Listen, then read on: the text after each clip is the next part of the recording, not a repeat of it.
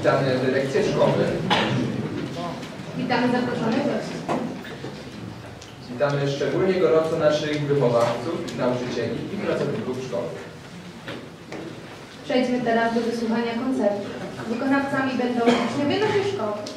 Zapraszamy Państwa do wspólnego śpiewu. Każdy